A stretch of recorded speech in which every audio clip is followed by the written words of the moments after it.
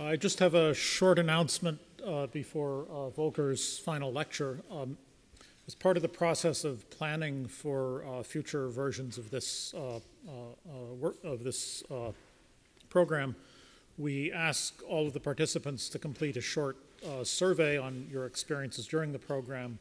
Those surveys will be made available starting more or less now on the table outside the lecture theater here and in the common area in Bloomberg Hall.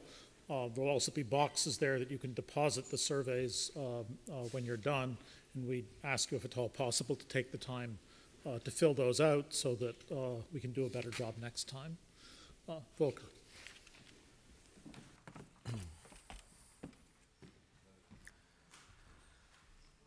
Yeah, good morning. Welcome to my last lecture. Um, I guess it's getting late in the week and you all will probably be tired by now from equations and discretization schemes. And yet I'm probably going to torture you a bit more with some yet, an, yet another scheme this morning, moving mesh hydrodynamics. But I also would like to entertain you a bit with some nice movies uh, about this new scheme. And I've designed sort of this lecture as a sort of a bit of a summary also of what I said previously. And I want to start out with pointing out a few uh, of the accuracy issues that we face in the context uh, of cosmological structure formation simulations. So in this uh, regime that, that Mike just described, basically where we form galaxies all over the place, that's also where I usually work in. and that is a particularly challenging um, regime. And maybe both methods that, that were discussed during the week, uh, Eulerian grids and also Lagrangian SPH approaches have problems actually in, in this regime. And maybe we should look for a, third alternative, and that's uh, what I'm going to tell you about, one possibility for doing this. So a couple of uh, accuracy issues just to, to remind you of those again. This, this is a plot of the so-called Santa Barbara Cluster Comparison Project, and I'm sure many of you have seen this. This is now 10 years old.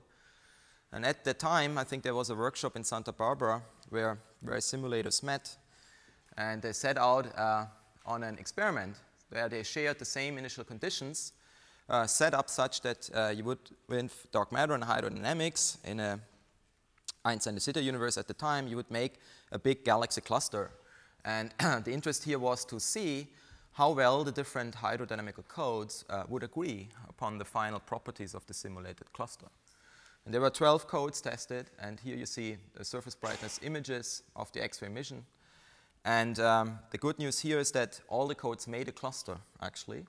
But you see, there are, you know, at face value, you would think, oh, wow, there are some quite wild variations, because certainly this, this map doesn't quite look as nearly as smooth as Yepes ones, and there's a core missing here, um, and so on. So there are certainly differences in detail, but actually, if you analyze this more closely, you find that um, the results even at the time where the, where the field was much less mature than it is now, there was, uh, in the bulk properties, there was a, a, reasonable agreement.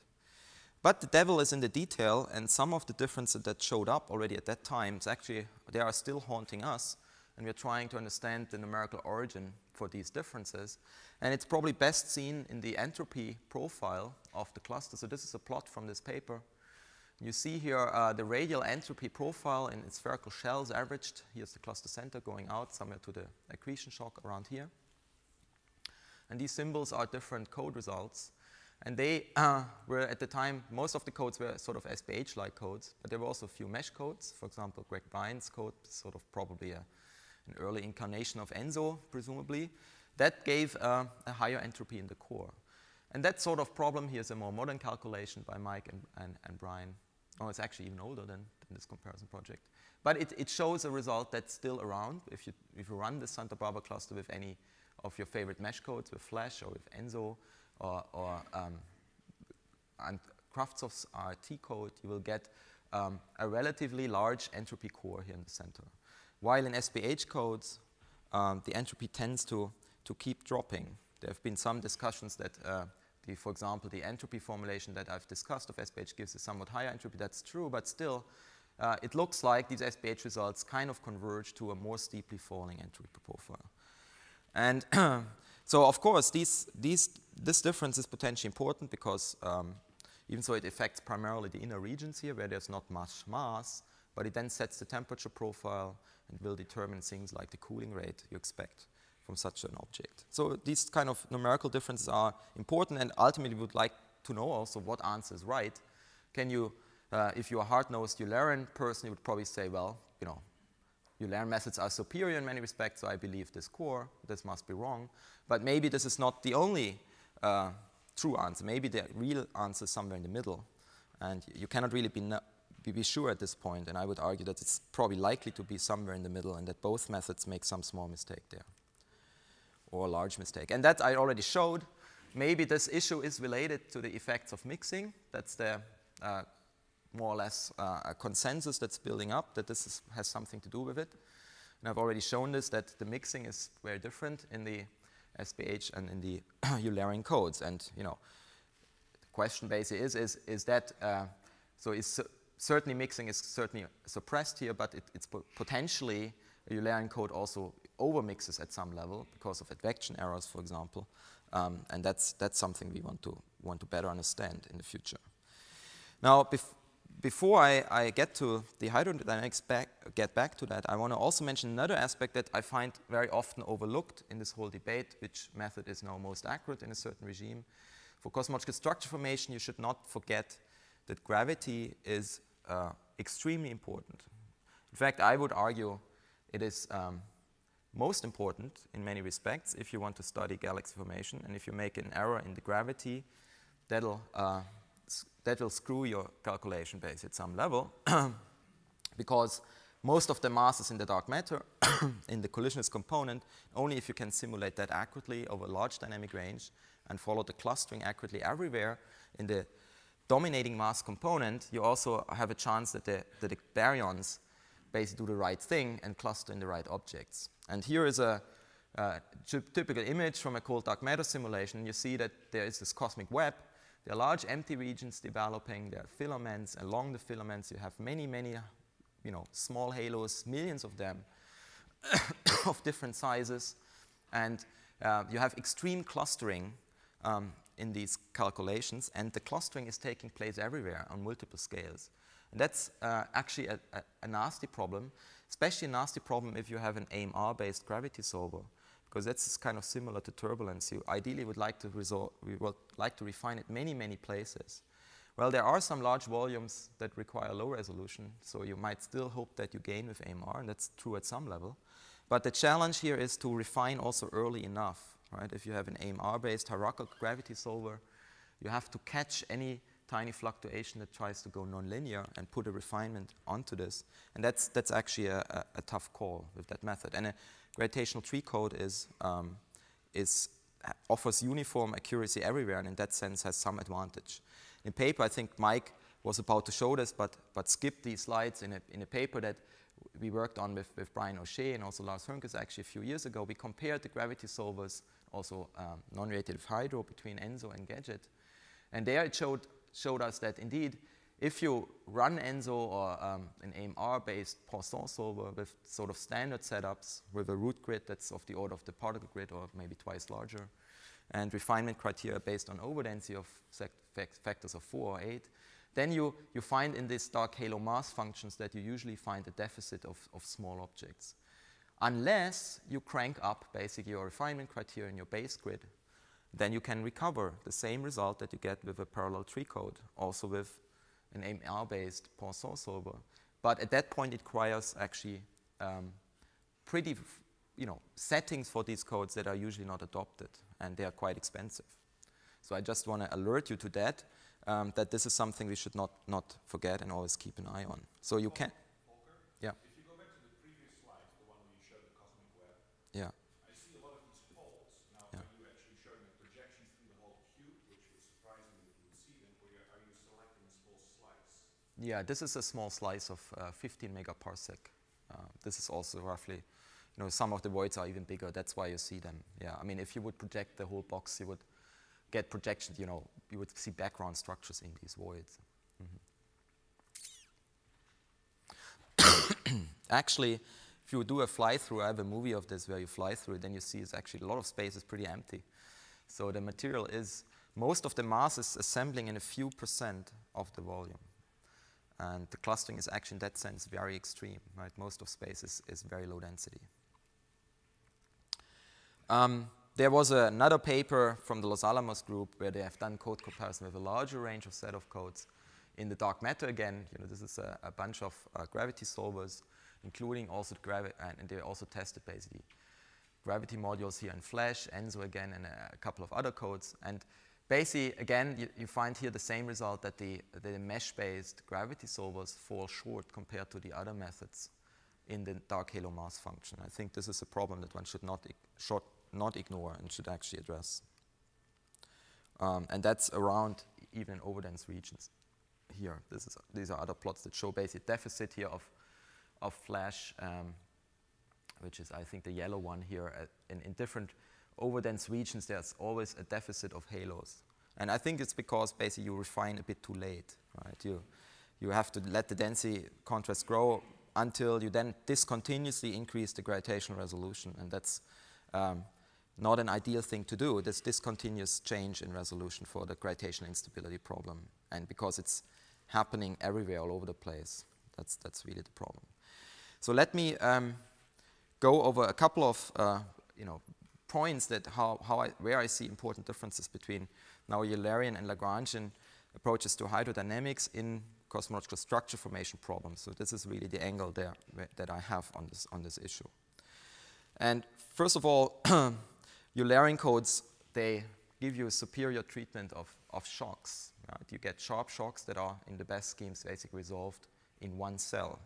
So this is extremely good.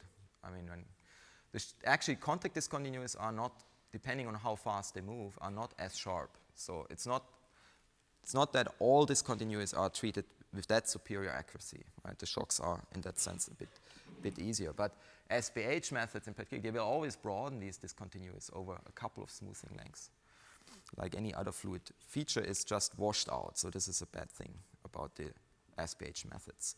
And I discussed at some level this mixing issue, which I suspect is behind some of the more serious differences that arise in results. Eulerian codes can treat mixing implicitly essentially at the cell level. That's probably uh, the correct thing to do in many circumstances. it has the danger that you sometimes do too much of that, of course, if you're under-resolved. In the Lagrangian SPH, as I showed you, there is, uh, depending on the SPH formulation, there might be actually a, a, but there is essentially complete suppression of mixing because there is no mixing entropy production accounted for in the standard approach. You only produce entropy in, through the artificial viscosity, and that's only triggered by a shock normally. And, but there are now the newest suggestions are to, to basically fix this, this issue uh, with treatments you know, of discontinuity capturing also in the thermal energy equation. Maybe this can be get, gotten to work. Um, artificial viscosity, as we already mentioned, just mentioned. So ni another nice thing about Eulerian methods, especially, the, well, the Godunov schemes, they actually don't need any artificial viscosity. Um, sometimes one still needs to, in certain scenarios, one still adds sometimes a bit of extra viscosity to, to tame some numerical uh, issues, but generally the viscosity, the artificial viscosity is, is extremely low. I mean, you can't, can't do better than that. While you need uh, an artificial viscosity in SPH, and problem with that is, while this is, I think, perfectly okay to capture shocks, the problem with this is that it often, you know, makes the fluid viscous also outside of shocks. And that is introducing errors that you don't want. of course, there are ways to, to trying to minimize that, but this is always present at some level. Then you have this issue that uh, Jim al al already discussed, um, that the truncation error in Eulerian schemes is not Galilean invariant. I'll, I'll get back to this later. that uh, is something that's uh, not a, I would say it's not a, a principle uh, it's not a deadly problem for Eulerian codes in any, in any way because you, you always have a truncation error, of course. It just means, you know, the truncation error, the size of it depends a bit on your frame of reference. But if your simulation is, if the truncation error is small enough, then it doesn't matter that it depends on the frame of reference because then you're resolving your flow independent of the frame of reference. Problem is, however, that in cosmological simulations you often um, can't guarantee this everywhere. There are flows that have very high Mach numbers and they will then be often truncation error dominated. So this is, uh, in that sense, an unwanted property that produces errors sometimes in places where, where you have no control. You can't you can't afford to beat it down by higher resolution. While Lagrangian schemes are Galilean invariant, so this problem is basically absent by construction. That's a nice thing. And finally, what I also find important in the context of structure formation, and I've just discussed that, is that um, the treatment of self-gravity, it's very natural to um, do the self-gravity of, of, uh, of the gas. Of course, you must do it then on a mesh. But it's customary that also the dark matter uh, that you might also have around is then solved on the same mesh. And as I've just argued, these mesh-based Poisson solvers have problems to account for the strong clumping of dark matter, even in AMR, because of the problem that you have to refine at many places simultaneously, and that, that's computation expensive. And so I would argue that actually would be more accurate to do something like a, uh, a, a parallel tree or TreePM scheme to have a homogeneous high resolution everywhere in the dark matter. Self-gravity has also the nasty property that you don't explicitly conserve total energy anymore then, and that's uh, also um, one of the you know, dirty laundry in, in, in, in approaches that this is one nasty thing that, that is nobody really, as far as I know, has found a satisfying solution that, that manifestly conserves total energy even in this case.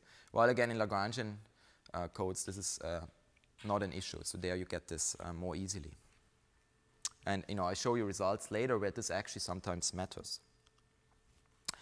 So what I now want to get to is to a, a different a hydrodynamic approach that kind of lies in the in between.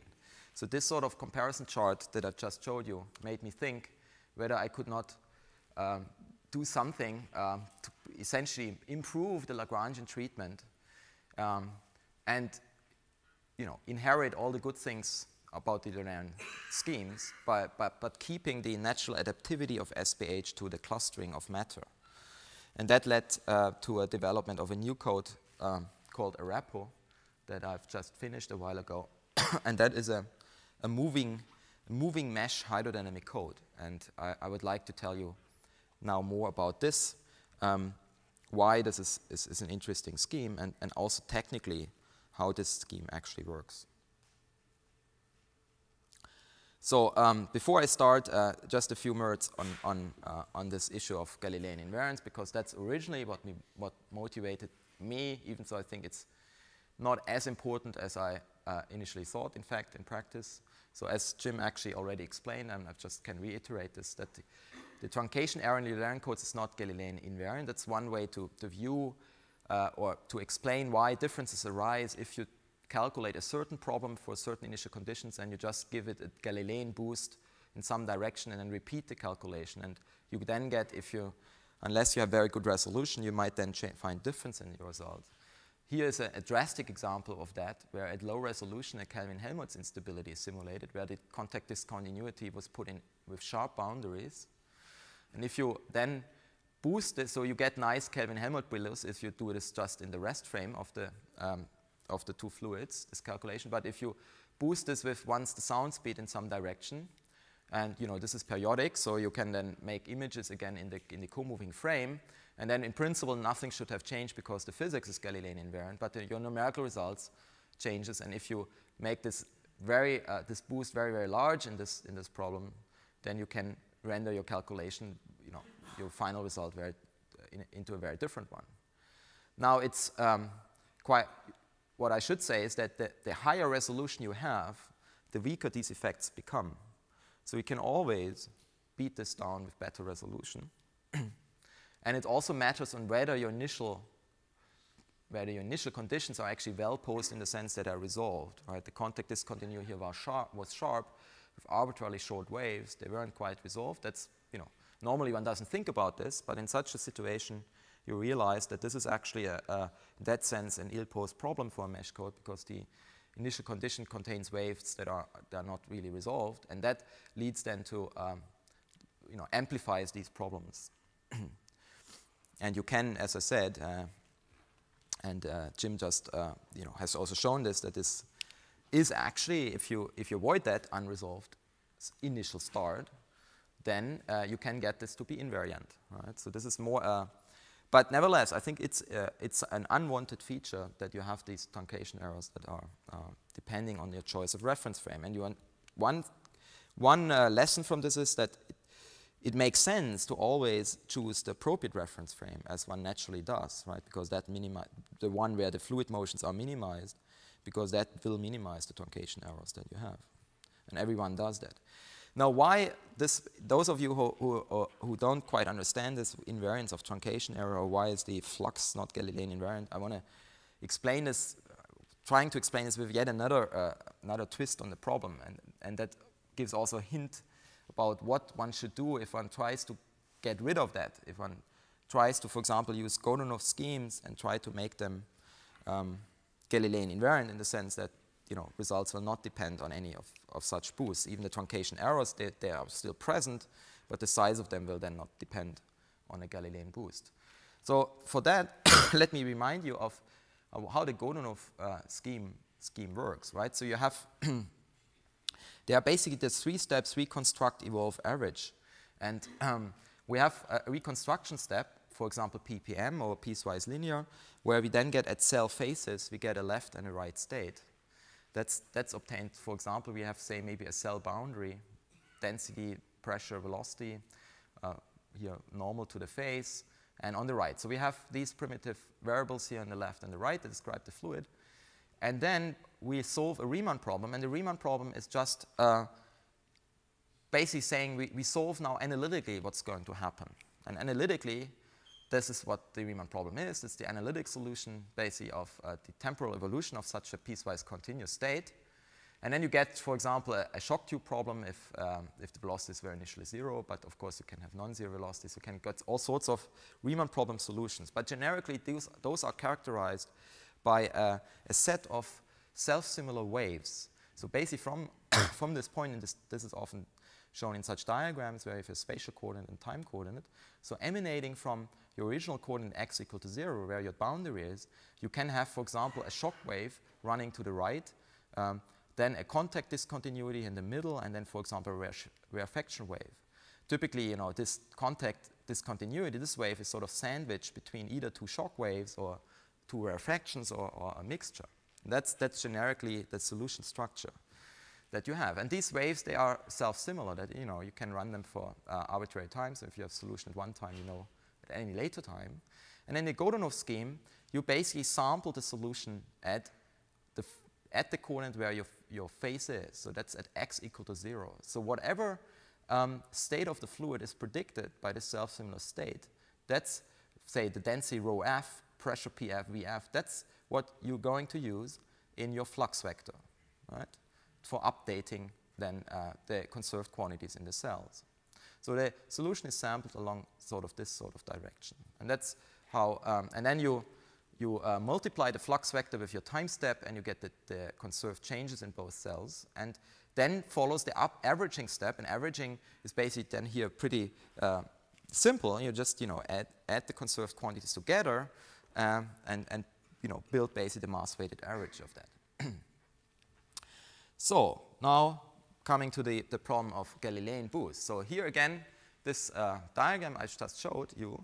Now let's imagine we, we consider the same physics, same physical problem in a Galilean boosted frame, right? And the, the, for example, let's just look at the mass flux. The mass flux would be the rho f I read off here times the vf that's, that's my mass flux. Now, in a Galilean boosted frame, if I do a boost, say, um, of minus v, then, then I expect that um, the that only the velocity changes, right? The boost velocity will just be added to this. The pressure and the density will not change in a Galilean transformation. So in the boosted frame, if I have a Galilean invariant solution, the, I would expect that the flux reads now rho f times vf plus v. So that's my kind of my expectation. But in a Godunov scheme, I will not get this. Why not? Because in the boosted frame, you have now a different uh, left and right hand side. Actually, we'll have exactly this one, rho L, PL, VL plus V, and then rho R, PR, VR plus V. And then you do your Riemann problem, and now the Riemann problem is again, in a sense, Galilean invariant, of course. You get the same waves as before, but they are now kind of tilted to the right because you added to all of them a constant velocity. What this, however, means is since your reference frame is still at rest, or is, is, you know, you will sample again at x equal to 0 constant, as x equal to 0 constant is your phase boundary. So you sample along this direction, and you read off from the Riemann problem here a different density and a different pressure P star. And you can already at that level see that you can never get a Galilean invariant solution because this product now that you put into the flux vector, rho f star, p f star, this is your flux component in the mass, is not equal to this in general. So this is already basically a proof. Um, you can convince yourself with variant, you know, count examples where basically this is equality is actually violated, that this can't be Galilean invariant. Of course, in the in the language of um, differentiation, you can also show that this is actually the means effectively that uh, the, the, truncation error has has changed in, in the two frames. Now.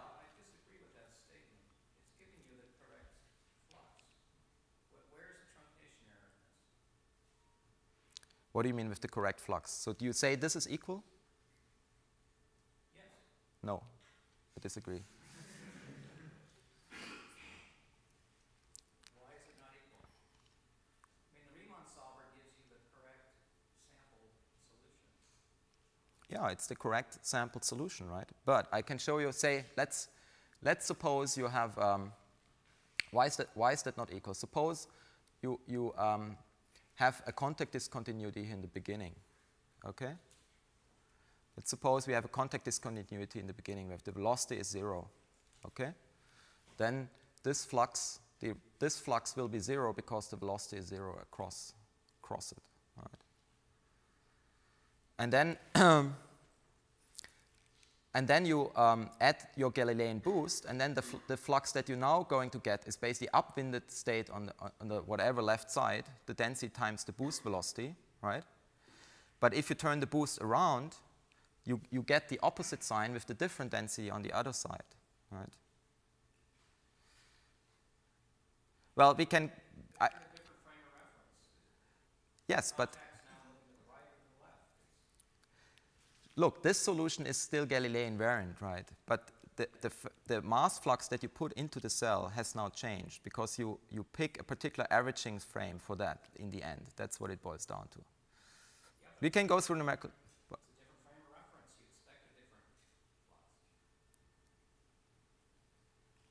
Yeah, but you expect exactly this flux. That's the point. If you change a reference, you expect this flux, rho f times vf plus v. That's what you expect. But I'm saying if you read this flux off here, you're not going to get this, depending on where you are in this wave structure.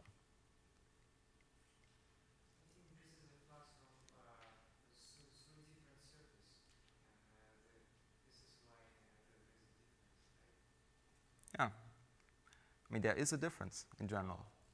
I see. It's in the rho star F. Yeah.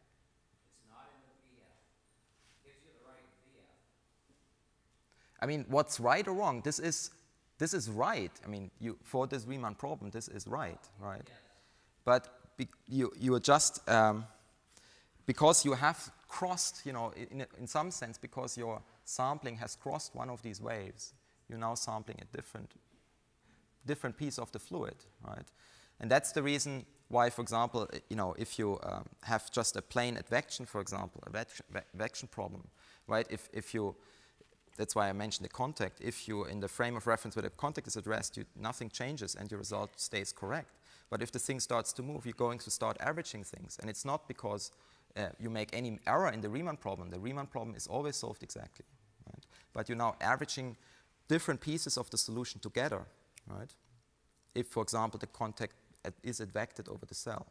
You start to average it together. So the error kind of happens, the solutions are Galilean invariant until you average the new states together. But that's what you're doing by, by basically integrating over the, the volume and then accounting for just the fluxes uh, at the surfaces for the conserved states. Okay. So we can go through numerical examples where I show you this. But this is, this is basically, so what you ideally would like to have is you would like to sample the state of the fluid somewhere in here, like before, but you can't really do this because that would violate sort of the, the upwinding nature. You would then make a, you would become unstable if you just did this. Right? you have to um, follow the normal structure in the Godunov problem. So so that is just as a remark, and I invite you to think about it and prove me wrong on this if you don't believe me. Now the AREPO code is, um, so that's actually the, well, coming back maybe to this point. So what, what you ideally would like to do is to sample again the state here, and you can only do this if you now basically, your, your face is actually moving along this direction. And that suggests, okay, if I have a moving mesh code where the face is moving along that, I will always get the same, the same uh, flux, you know, um, independent of my, my, the frame of reference of my calculation. And that's what uh, you can achieve if you let the, uh, the mesh, conceptually, we would like to let the mesh move with the flow. And in 1D, this is, of course, uh, uh, an old concept that uh, works also very well. You know, Lagrangian hydrodynamics in 1D is pretty simple to do, and there you just move your cells with the flow, and um, that is, uh, is, is, great. But in, in multi-dimensions, uh, it's, it's harder, and I show you here an approach that actually works. The traditional hardness in that, in letting the mesh move, is that you will have twisting of mesh cells. Uh, not sure why it's now not playing smoothly. Yeah. Yes, the number of cells is conserved here. The?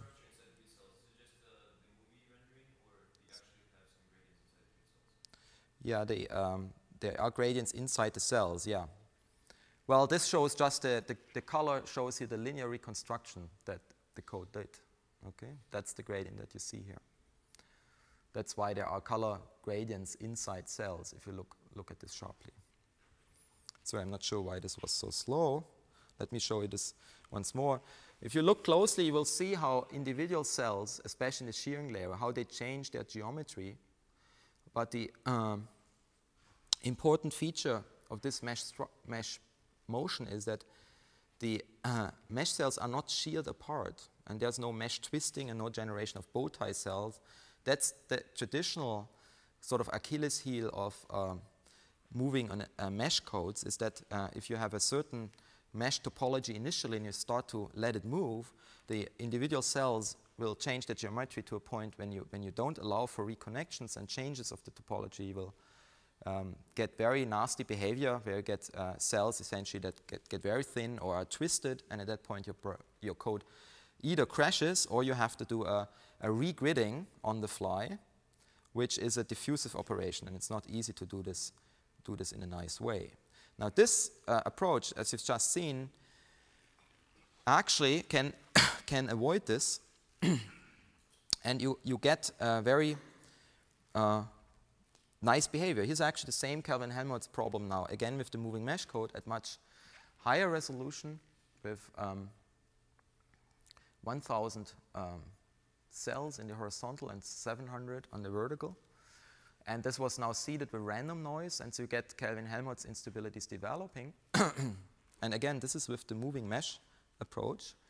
And what's um, particularly interesting about this is that you can, as you see here, you can advect these, uh, you know, complicated contact discontinuities of, of partially mixed fluid with reasonable speeds through space avoiding that there's additional excessive mixing occurring. Right? So this would be very hard to do with a Eulerian mesh.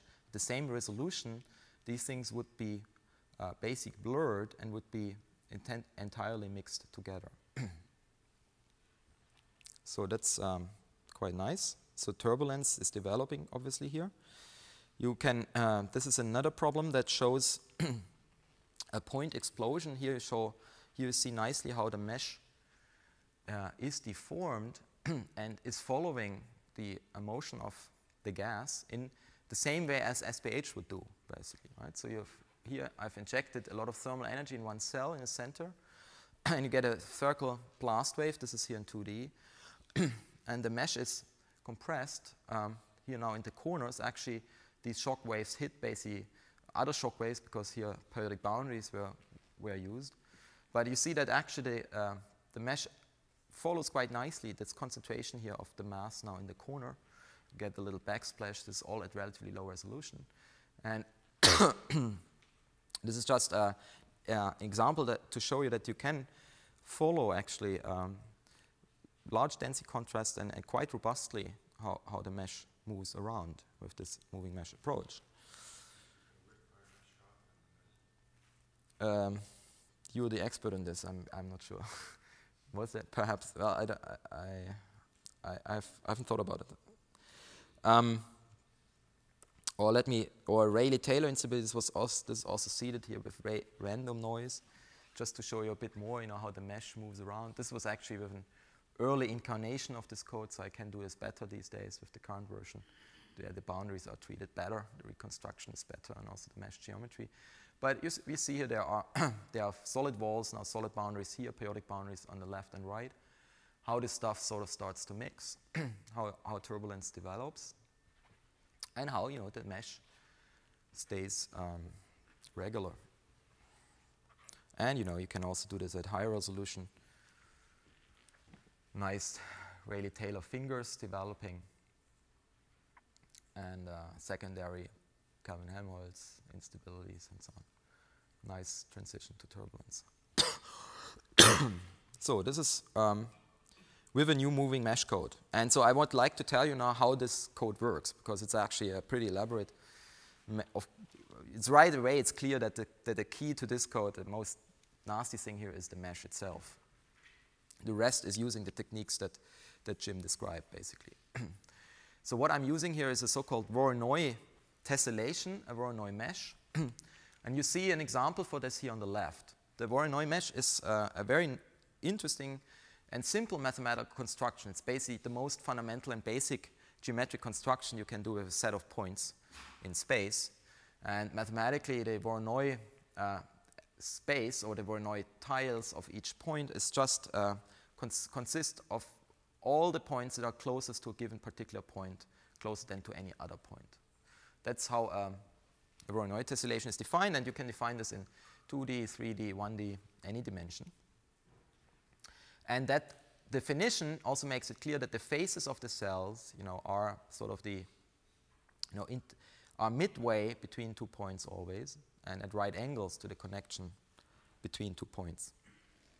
And then there is another very interesting geometric construction, the Delaunay triangulation, that is, uh, has a close relationship to the Voronoi mesh.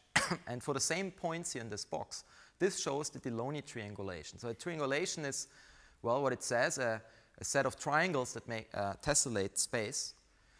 And there are many different possible triangulations. and the Delaunay triangulation is, interestingly, a unique triangulation which has one interest, particular property, namely that the circumcircle around each of the triangles does not contain any other point. And that property, this empty circumcircle property, is actually determining the Delaunay triangulation uni- uniquely. And with that property, um, then these two tessellations are related. They're actually the topological dual to each other, meaning that for every, for every face in the Voronoi mesh, there is an edge in the Delaunay triangulation. Right? You see this here overlaid. If you look at uh, a Voronoi cell, then there are edges of the triangulation that are just orthogonal always to the edges. So basically, for example, if you want to have all the faces around the point, you look at all the Delaunay triangles around the point, and each of the edge is giving you a face, and vice versa. Why is this important? So what, I what you saw already in the movie is that it's this construction I'm using for the moving mesh, but it turns out that algorithmically, it's much faster to construct the Delaunay triangulation. Once you have it, then you have already constructed the Voronoi mesh because it's the topological dual. You get this for free. So basically, they are equivalent. Also, for storage purposes, uh, the data structures here are regular, right? You have triangles with, with a fixed set of points, so this is easy to store. While the, these polygons here, they have a variable number of faces. Right? This is already bad for storing that. It's much more complicated. So you're better off storing this structure. So they are the duals to each other, and there are uh, a whole slew of mathematical uh, theorems known about these two triangulations, which is quite interesting. So we would like to use such a mesh now generated. So the idea is we throw in a few points into space, and that makes a mesh, right? Build makes the Voronoi mesh, and on top of this Voronoi mesh, we now want to describe a finite volume hydrodynamical scheme based on Godunov's approach, where the meshes are also allowed to, to move. And that is uh, what we've seen many times now, uh, and I've only discussed the uh, ordinary Euler equations here. So we have a, uh, conservation laws for the, for the conserved states, mass, momentum, and total energy. This is the state vector of our fluid. And then there is a flux vector here and an equation of state. then we might make the usual finite volume ansatz that we describe each cell with um, a volume integral over its interior conserved state of the fluid. So that gives you just a, a total mass in a cell, a total momentum, and a total energy in the cell.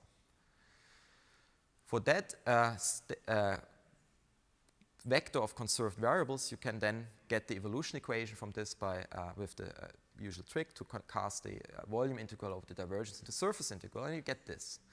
The only difference here is now in this surface integral that I'm included a term here that describes actually the motion of the surface.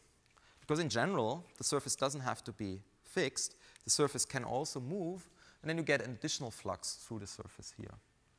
And that's something that we'll want to exploit. In fact, in a truly Lagrangian code, you would pick this W, the fluid velocity on the, you would make the velocity of the face of the outer boundary of a cell, you would make it equal to the velocity of the fluid. If you do that, then immediately the mass inside a cell stays constant, right?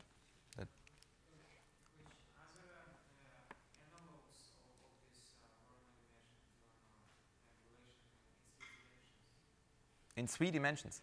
Yeah, of, of course. Yeah, yeah. The Voronoi mesh exists in three. I get to this. So in three dimensions, it's.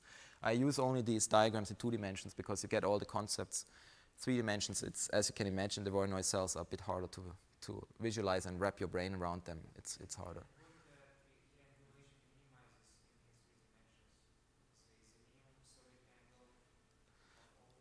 Um, in, well, in, in, in, yeah, there are diagrams here, like the Delaunay triangulation, I think maximizes the minimum angle that ever occurs in a triangle. Something. There are a couple of theorems. They are not going to be terribly important for what I'm going to say now. So.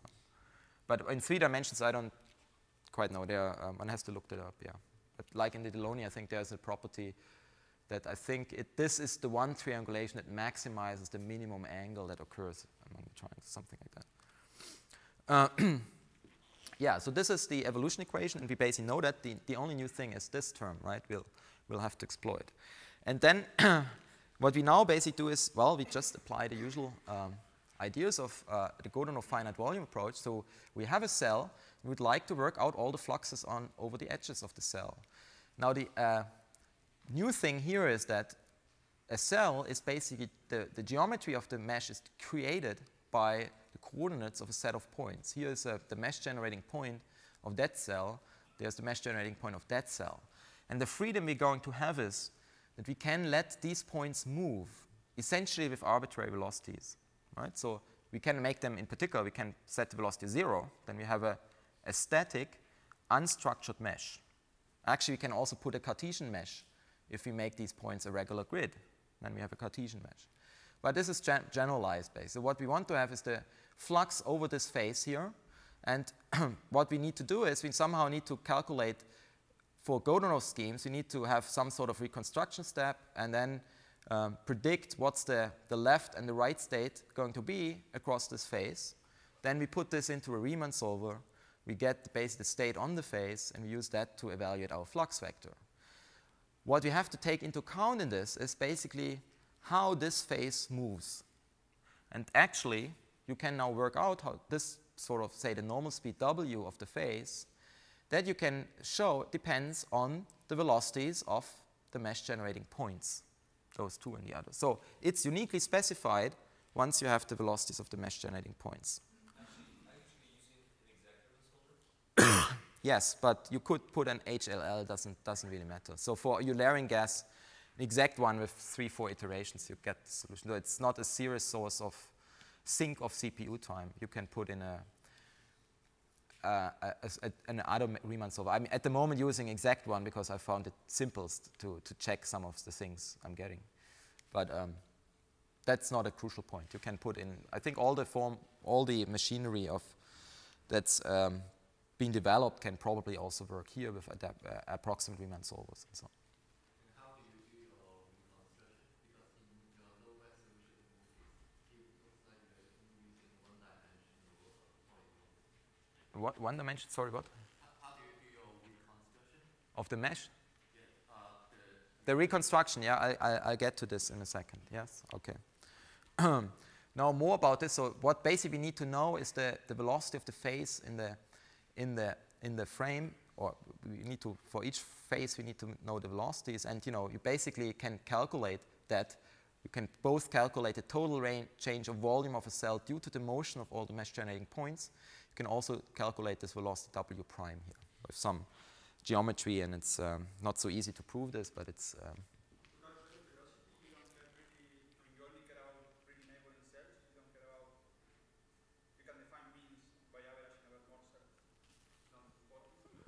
No, you need it only to, to linear order, basically. I mean, it depends on how many Gauss points you want to put on the, on the face. At the moment, I, I neglect for that the turning of the face. You, you need basically need to calculate it in the center of mass of the face. That's sufficient at, to second order accuracy. So what you need to do, and that was the question just uh, about the gradient uh, and the uh, linear reconstruction. So basically, um, what you have in, in 1D, what you would have is, you know, a bunch of piecewise continuous states first, but you, this is not good enough, would give you low order at the boundaries, and, and Jim actually described this.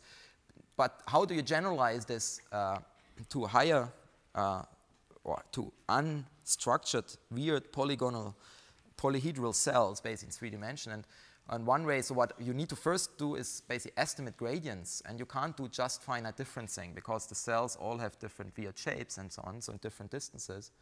That wouldn't be uh, good enough. So you somehow need for a Voronoi cell a gradient operation that gives you um, a reasonably good estimate for the gradient, which you can then slope limit to get a, a, reconstruction. And uh, what I use here is Green-Gauss gradient estimation. This is a relatively simple technique. It uses the Green-Gauss theorem, right? If you, which says um, one of these things says that the volume integral of a gradient is equal basically to the surface integral of this field um, with the normal vector here, uh, n points, points outwards on, this, on the surface. So that means if you want an estimate of the gradient, the mean gradient in a cell, you can calculate this by doing a, a surface integral of this and dividing by the volume, averaging this. And that's actually what you can do. You can show that you can calculate the surface integral from the, the values of the fields in the cell I and the, and the neighboring fields and the coordinates of the mesh generating points.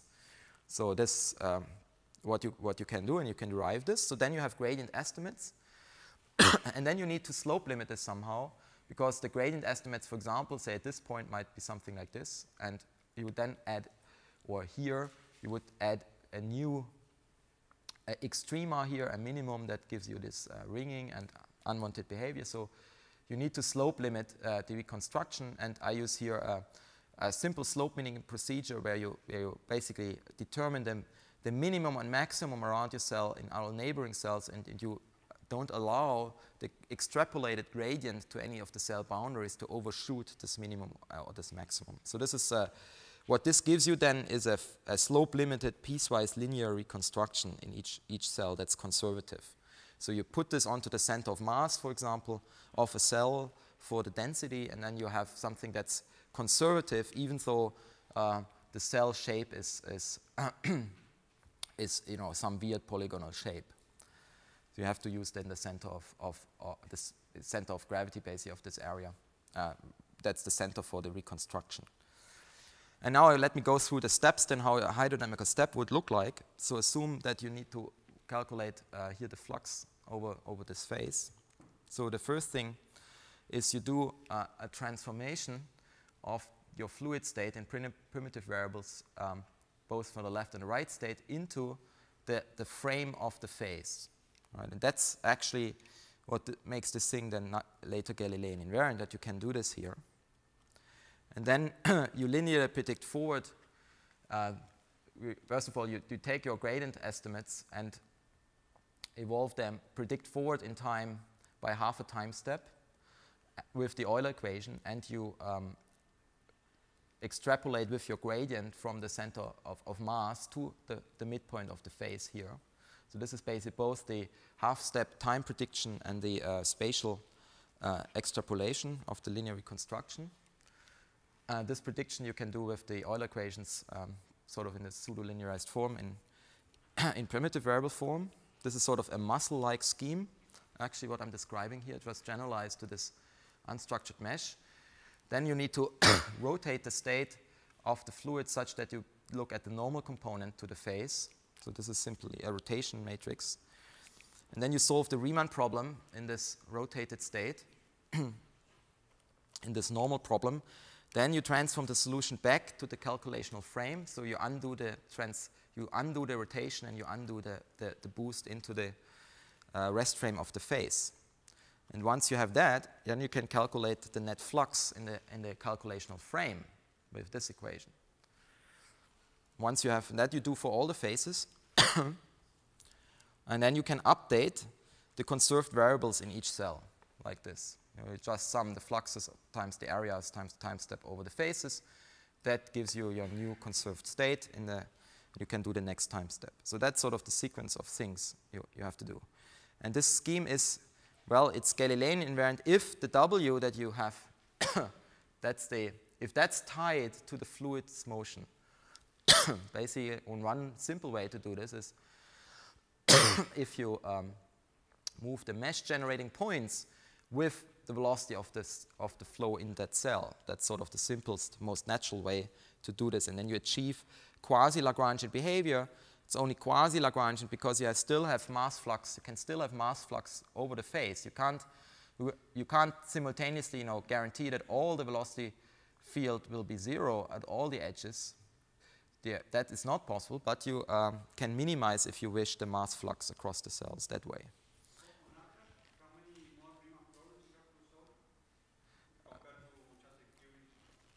about twice as many. You have an, think for, um, let's see, if in a normal phase in a 3D Cartesian grid, you have basically six faces on a, on a cube. On average, in 3D, you have about 12 and a half faces, I think. That's what I remember, something like this. I think it's a, maybe it's a fact of 2.4 instead of 2. I, I, keep forgetting, but it's about that. So yeah, there is a much higher cost. Actually, but that is not what should scare you that, oh, you have to do more Riemann problems. They're actually pretty fast. So that, if that's the only thing, that would not, would not be concern me at the slightest. Okay. But we'll have to, I get to this, what you should be concerned about at this point of my talk is, oh my God, what is this mesh construction going to be? um,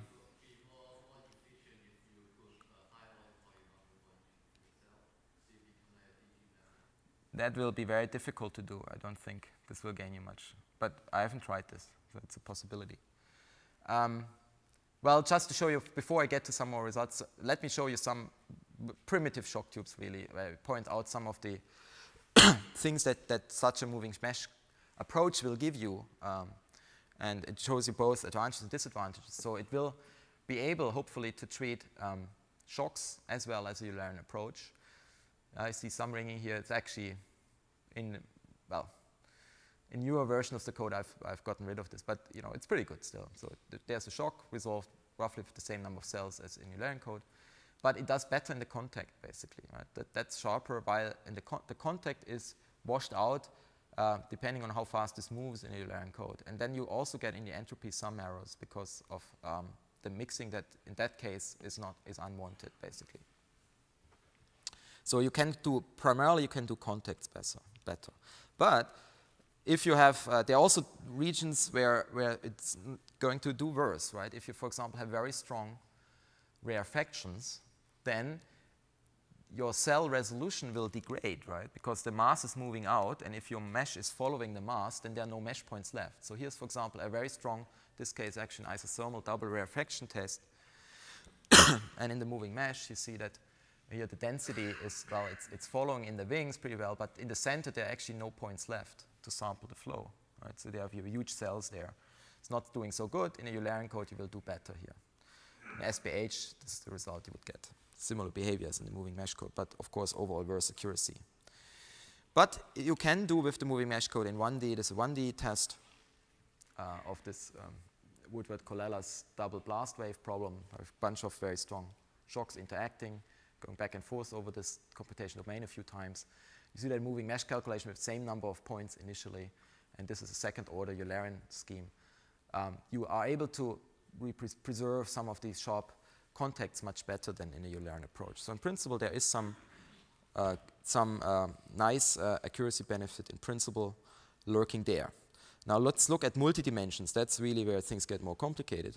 Here is a, a vortex problem. So this is in principle the analytic solution of this rotating vortex is uh, um, stationary. So this thing should rotate for a long time. and it, you know, does so with the moving mesh. This is at low, low resolution. Of course, you um, have some degradation of the solution with time. But overall, you can run this for, for a decent amount of time. And the results are, in fact, uh, uh, as good, basically, as with, with a Eulerian code. In fact, my code, if I uh, run Athena in second order for this problem, then uh, my code does as well as Athena on this particular problem if I use a fixed mesh. But the nice, so this is for a static uh, vortex, where uh, these three codes were, you know, this AREPO code with a fixed mesh to Athena, where uh, only a second order scheme was used, not the higher order schemes. So that's only second order. So they should be equivalent, and they are. So I was very pleased when I could reproduce Athena, because uh, I think it's a very, really great code. Um, so I, I, can reproduce the second order hydrodynamics uh, in, in, such a simple problem. It's of course not MHD, this is ordinary hydro. And also a moving mesh is equally good for that, right? But the advantage you have is if the vortex is now moving with some velocity, then the moving mesh calculation stays the same. Right? The result doesn't change. So if you have a, a, vortex roll and it's in some turbulent calculation and it decides to move a bit, then the accuracy is not degraded in the moving mesh code. That's a nice feature. While in the Eulerian approaches, you have some development of asymmetry, not particularly severe, but it's also not not, uh, not exact, not, you know, in principle unwanted. and, you know, the convergence rates are reproduce, reproduce those in, in Athena in this case for that problem. What's also interesting is um, three-dimensional simulations, of course, with gravity. So I'll get to uh, the problem of mesh construction in the schemes in a minute. and I want to just point out one, one, one of the issues uh, in 3D problems, if you couple now things to gravity, there is one very popular um, test problem for, for SPH codes around where you have just a cold gas sphere initially with some density profile. And then at time zero, you let it collapse under its own self-gravity, and it's going to collapse to the center, and then a, a strong virialization shock develops, a bounce back basically that eventually virializes the thing. And in 3D, since there's a substantial change in dynamic range, and you have, you know, follow the collapse for a while. This is non-reactive, not, not for you know, to huge density contrast, but moderately large density contrast. This is a challenging problem in 3D. And that's sort of the evolution of the temperature. And this is, as I said, very often used uh, in SPH. This, for example, an SPH result here. The, compared to a, an analytic, well, pseudo-analytic solution, I should say. This is a high accuracy um, PPM calculation in one dimensions done by Steinmetz and Müller. This is here in red. So that is probably very close to the exact result. and then you can compare that with when you do this calculation at the same initial resolution, same number of cells, cell points in the spherical radius initially, with a fixed Cartesian mesh, with SPH, or with this moving mesh. And this is at pretty low resolution. But you see that in a fixed mesh, unsurprisingly, you're not getting a lot of cells in the center, so you can't actually reproduce the inner density structure very well. Um, here is the shock at this point. And in this low resolution, you actually, the shock comes out a bit earlier then. That's why it's a bit offset to the analytic solution. In SPH, you get this result here. So you have, because of the adaptivity of SPH, and that's what we are often after in cosmology, you get points now at high density, it's sort of Lagrangian, and so you, you resolve the inner density structure much better. And here you would need AMR to do this, basically. But the shock is broadened, and if you look at the shock structure, you see another uh, interesting effect. In front of the shock in SPH, you see here in the entropy profile that the numerical uh, solution shows a lot of entropy production ahead of the shock. So where's this coming from? That's because this flow is spherically symmetric, and here the density is already going up rapidly, so there is a strong compression here, but that's still adiabatic, this compression. So you shouldn't change the entropy here, but in SPH, due to the artificial viscosity, this does happen. So it's a, an error.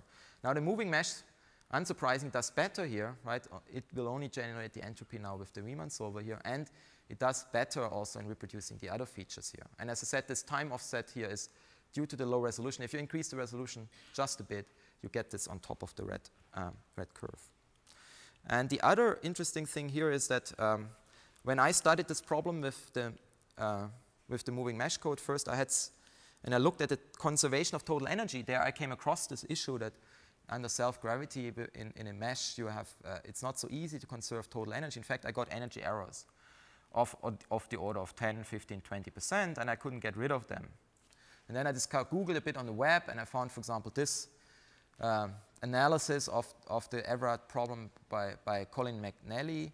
I don't really know this fellow, but uh, he, he, wrote up a, you know, a little piece on, on results, and this is a plot from, uh, from his work, and I, I'm, you know, I can't guarantee that this is the, the final word, what you can achieve with Flash, but he pointed out that with, with Flash on this problem, you also get a, an energy error here of 7% or so in the total energy, which is surprisingly large given that fact that in SPH you get basically zero energy error there. Right? So it's actually hard to get rid of this energy error.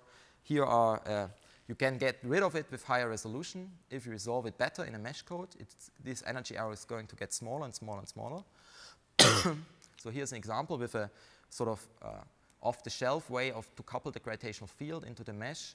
Then you see with, with increasing resolution, so at low resolution the energy error is huge, 40% here even, and then it drops and drops with higher and higher resolution.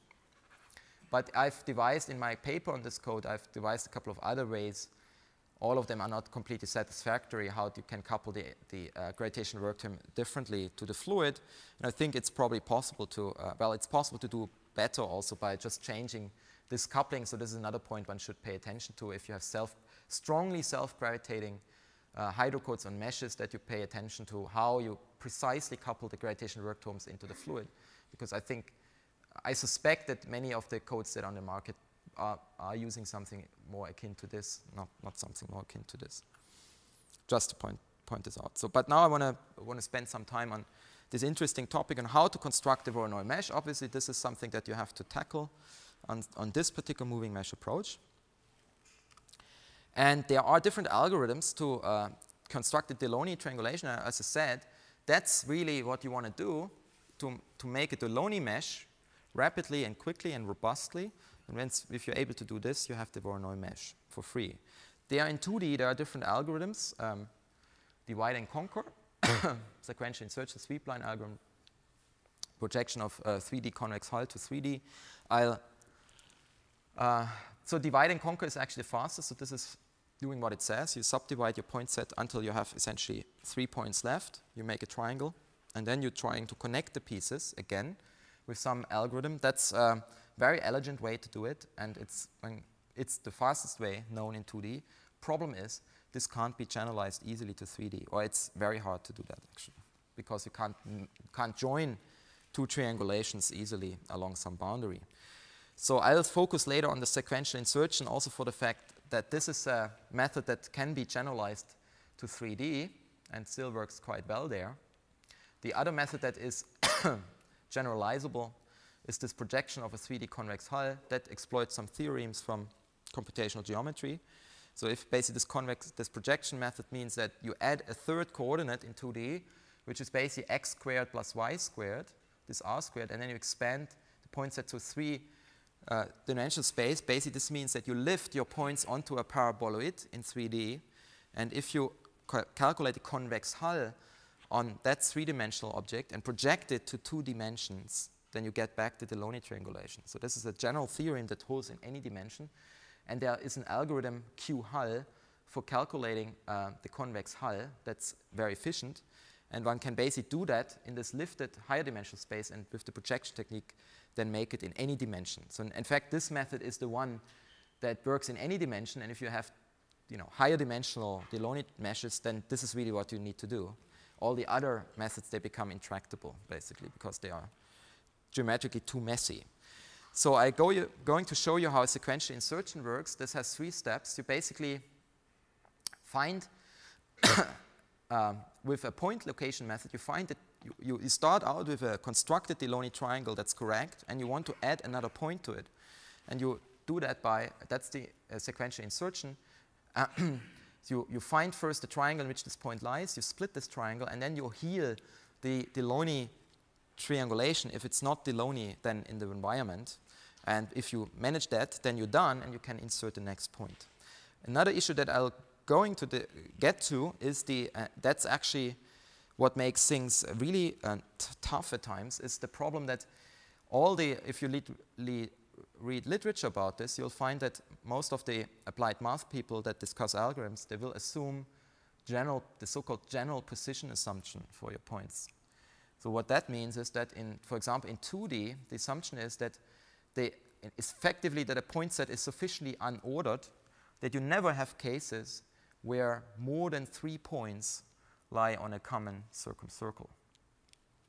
So and a degeneracy occurs if you have, for example, four points on a square, because here you have a circle that goes through all four points. And you then don't know, should you make a triangulation where the diagonal goes from top left to top bottom right or this way? So there are two possibilities. They are both Delaunay valid, and in that case it's degenerate.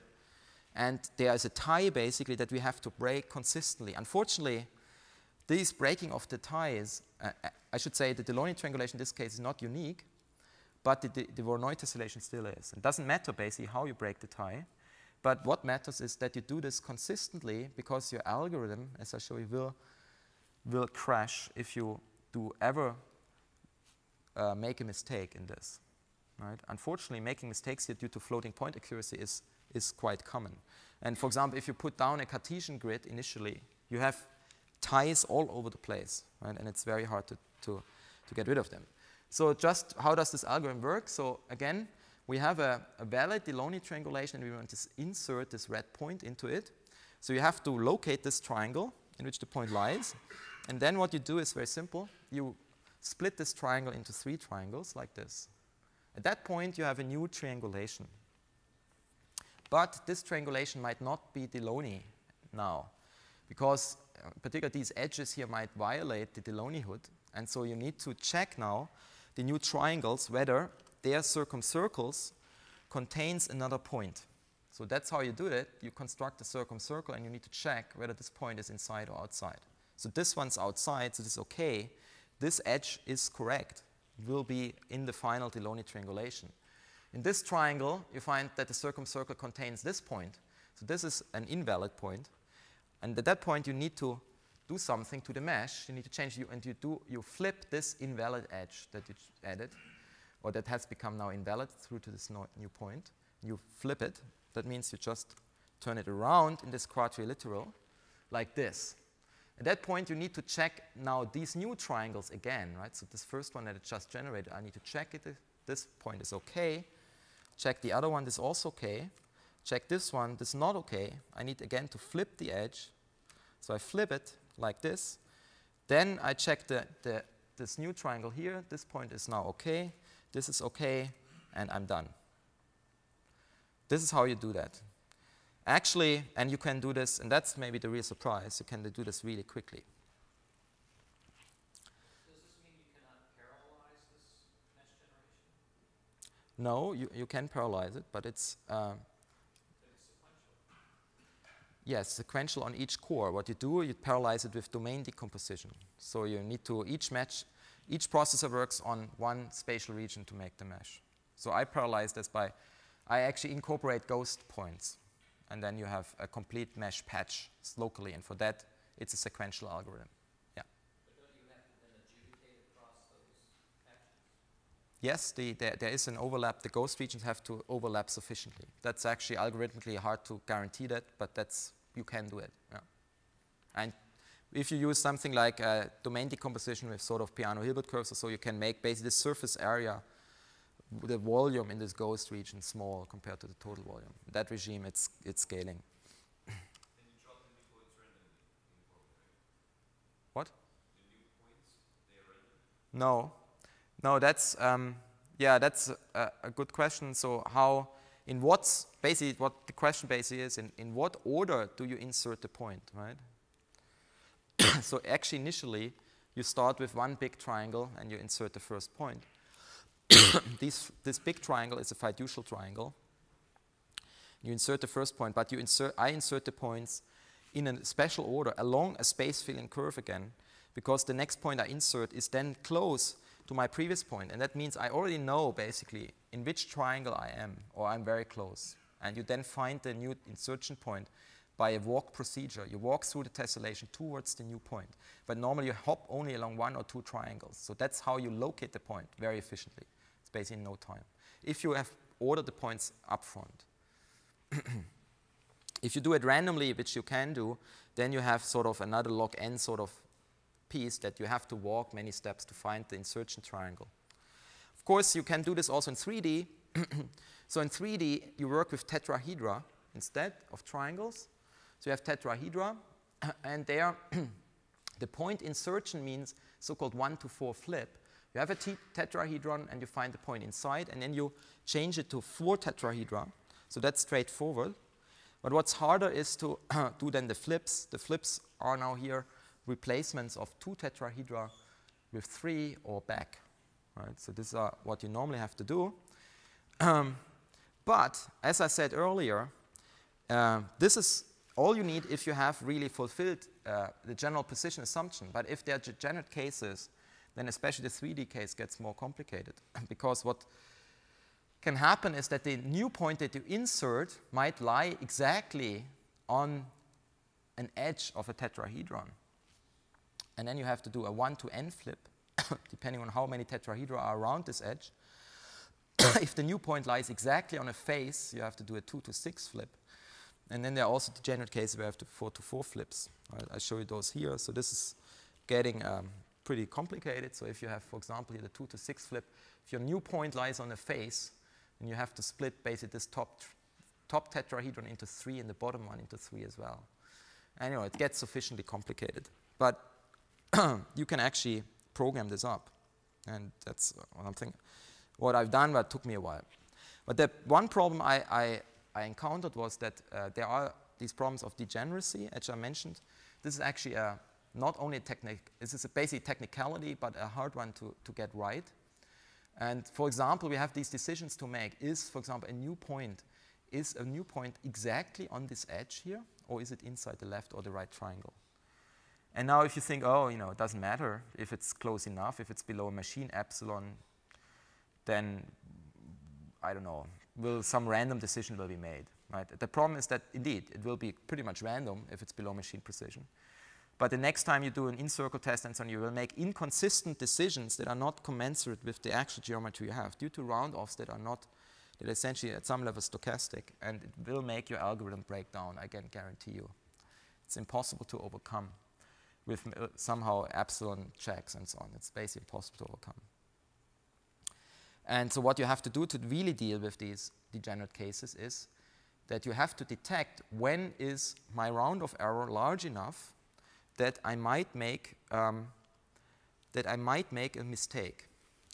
So the solution to this is that you calculate while you're making these geometric predicate tests, you calculate the maximum round-off error in geometric tests and check whether you might make a wrong decision.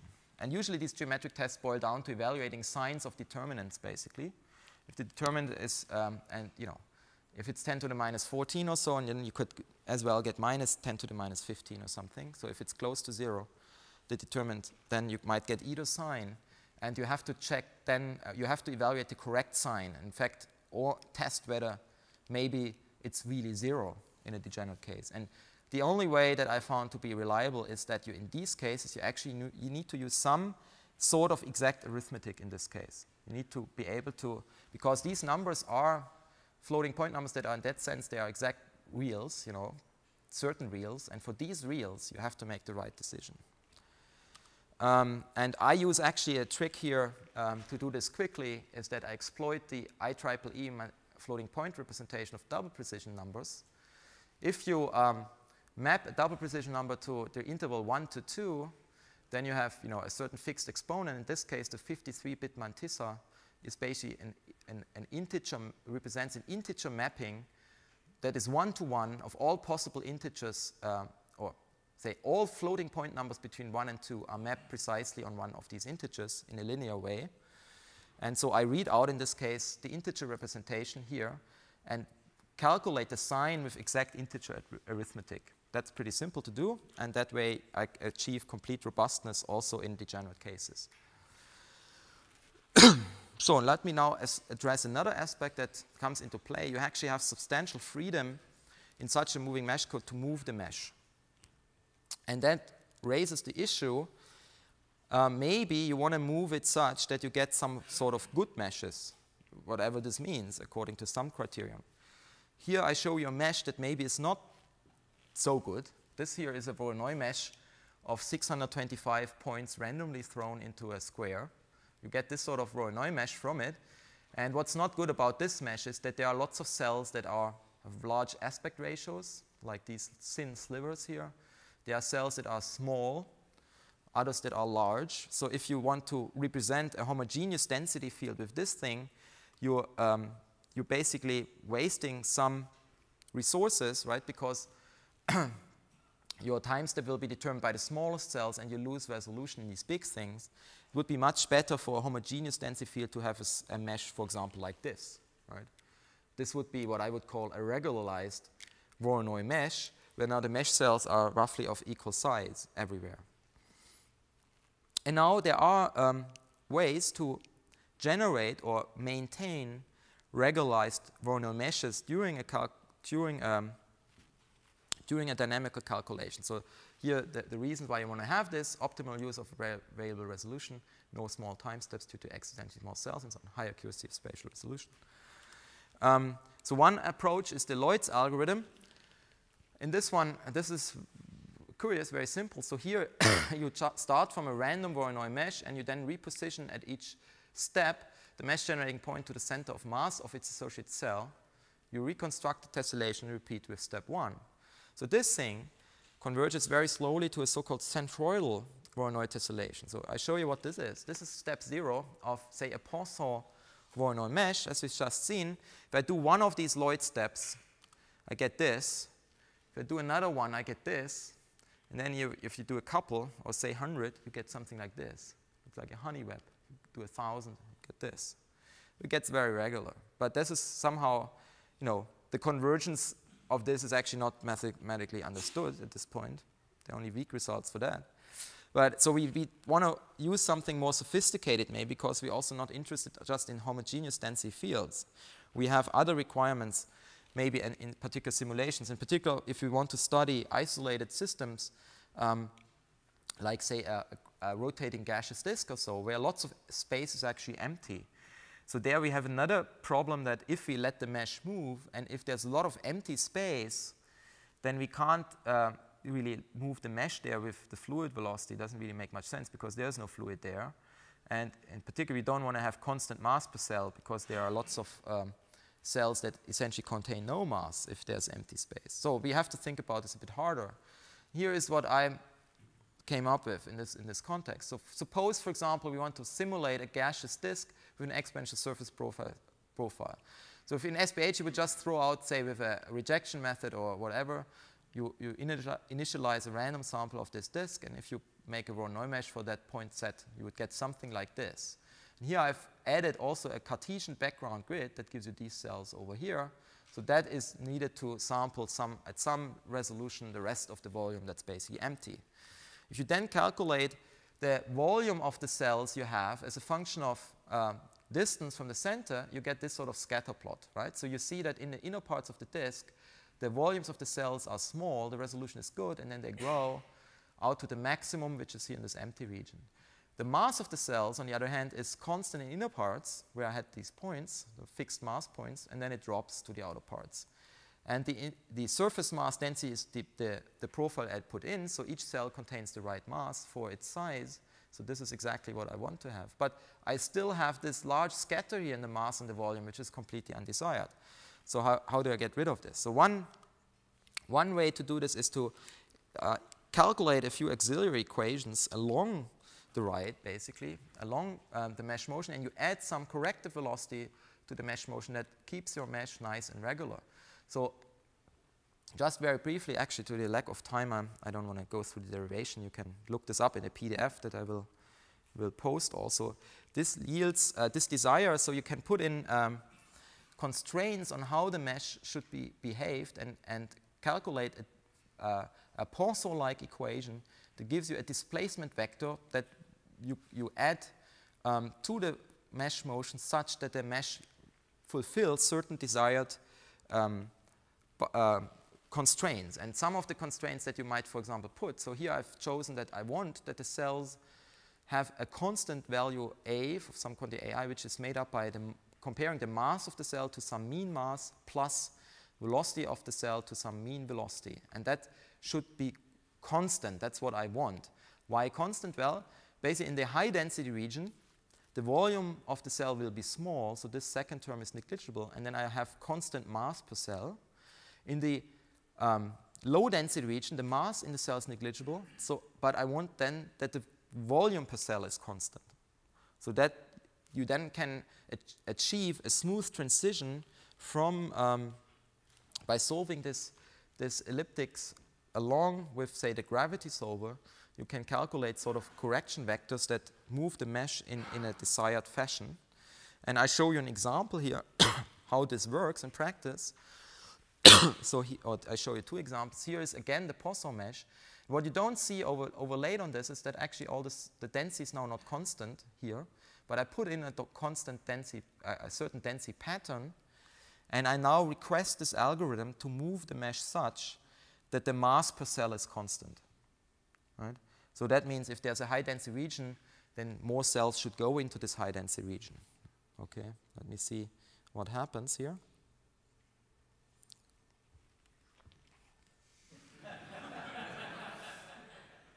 Okay, and there we are, and then we go back. So these sort of games you can play, so you have pretty, pretty uh, large control over your mesh motion. But a more um, physical application is sort of, sort of this disk. So if you apply this uh, trick to this disk, you then can have such a situation where you have now a more regular Voronoi mesh, but you get in the dense parts that the mass per cell is constant. And in the um, low density parts, eventually transition smoothly to a regime where this, the volume per cell is constant, while you still have the desired exponential mass profile. And um, it's maybe nicer to look at this in a, again, in an animation. So this is um, how this then works. And, you know, this is again at reasonably low resolution, but um, I, I, would say, you know, works quite well. You can now follow individual cells and I think there will be some markers on, put on top of the cells in a, in a second. Does that actually work? For another movie then. Now if you follow by eye, if you can manage an individual cell, you'll see how this um, mesh topology really changes smoothly. And, why, and why is mesh twisting avoided? It's because cell faces continuously shrink to zero.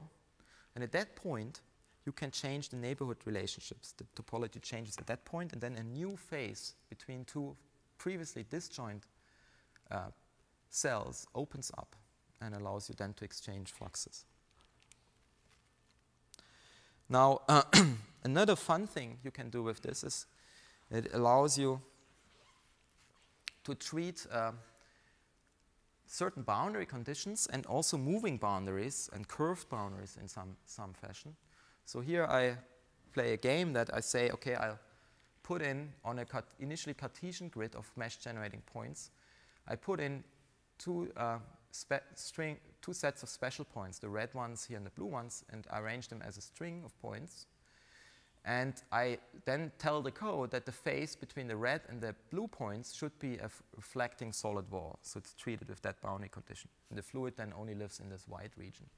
Then I can move this object if I treat these red and blue points as a solid body, I can specify some arbitrary motion for that and then let things, let things move. And, uh, let's see, this will take a second to load. Um, how this here is working, this sort of spoon uh, that's moving in a sort of two-dimensional cup of coffee um, with some cream, and then you can start, you know, mixing the fluid by this motion of, of, of the solid object. And, um, you know, you get lots of uh, eddies, obviously.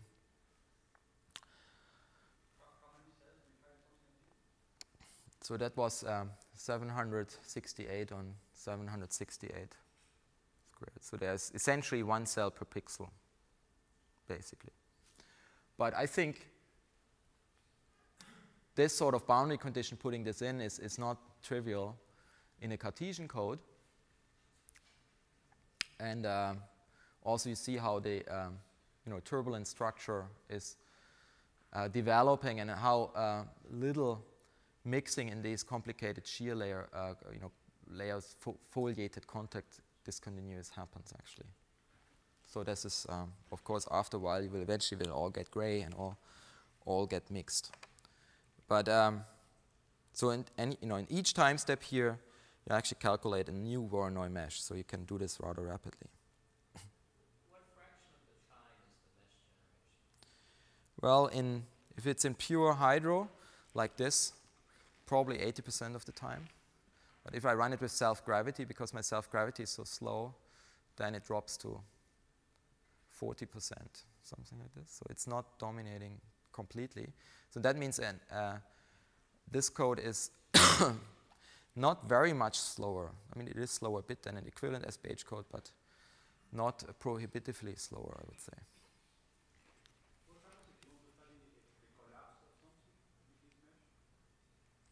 Yeah, I've shown you already some results for collapse calculations, right? When, like the uh, the um, collapse, right? So you just nothing special. I mean, the cells just get denser, and you get, of course, depending on what the dynamics then dictates, you know, get bounce back structure, you get virialization shocks. But this, the the thing is that the method is adaptive, and um, here's another calculation now in 3D that shows you that you can actually. It's a little startup error here in the initial conditions in the outer parts of this disk, but um, you, you can do full 3D calculations of, for example, colliding disk galaxies. So that's the problem I'm interested in, and Lars Hernquist, who I work with, that we would like to see what are the differences now with such a moving mesh calculation compared to, say, SPH. But you can follow large gravitational collapse and um, three-dimensional shocks and also, you know, regions where this is where large parts of the volume is, is essentially empty. This is here is non-radiative, so this is now realizing to a gaseous atmosphere around an elliptic galaxy. And um, yeah, I think I want to want to stop here.